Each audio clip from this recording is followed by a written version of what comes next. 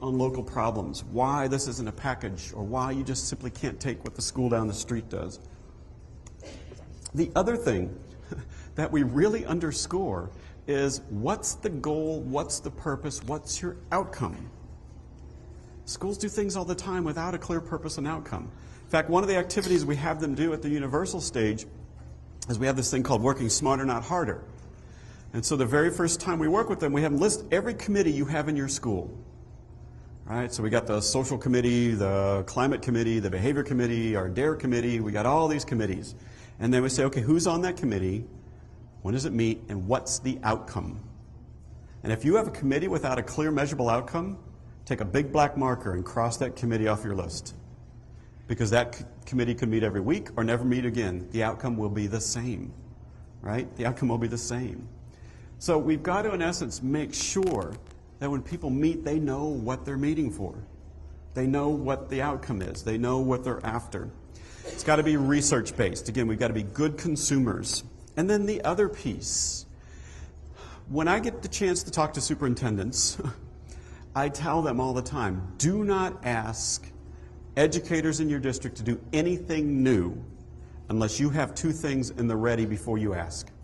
First is training to teach them how to do that. Second, ongoing on site technical assistance. If you don't have those two things, do not introduce something new because you're setting them up for failure.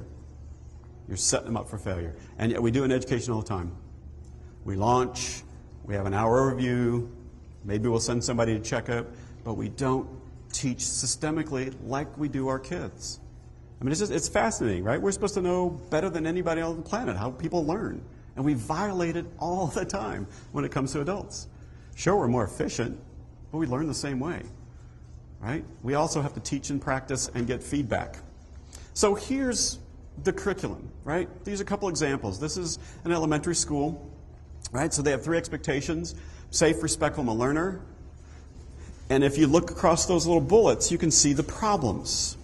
But instead of telling kids, stop pushing, stop shoving, don't run, they're telling and teaching what kids should do instead. So they kind of go through all settings and then they break it out across the school.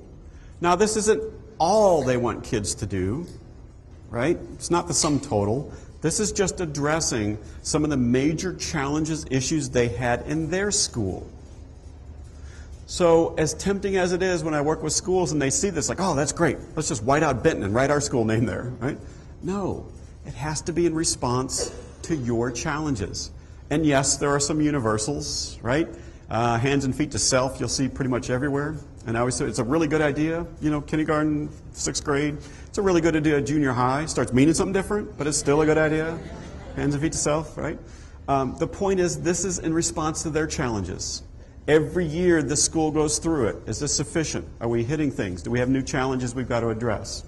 Um, a high school example, right? Typically much shorter at high school, more focus, and it, again, it makes sense. I mean, high school, you're shifting into that issue where kids should be managing their own learning and behavior, putting more responsibility on them. Um, the, you know, the other thing I point out all the time to schools is um, PBS isn't something we do to kids, something we do with them. So they also have a say and voice. We'll oftentimes have a student on our PBS team. Now, we excuse that student or parent anytime we're talking about individual kids or teachers, but let their voice also be heard.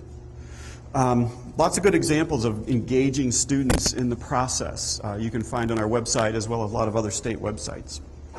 We then look at the non classroom setting hallways, playgrounds, buses, cafeterias, and so forth. Same logic. What instead? Teach and practice.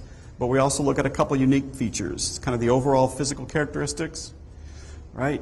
Uh, do we have too many bodies in too small a space or too big a space with too many bodies without supervision?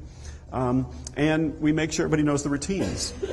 and this is oftentimes the non classroom settings are where we'll start with schools.